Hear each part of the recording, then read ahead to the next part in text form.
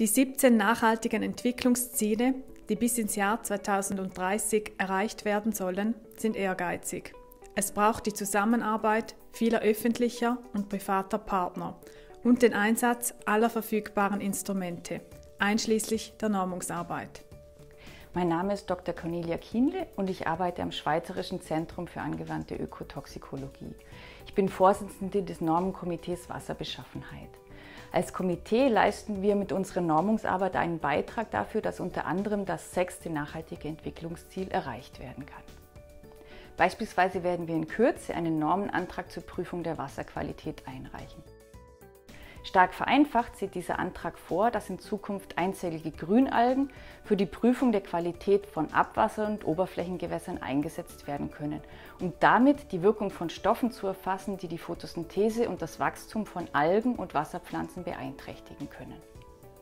Die fertige Norm könnte zum Schutz von wasserverbundenen Ökosystemen eingesetzt werden und somit einen Beitrag für die Erreichung der nachhaltigen Entwicklungsziele leisten.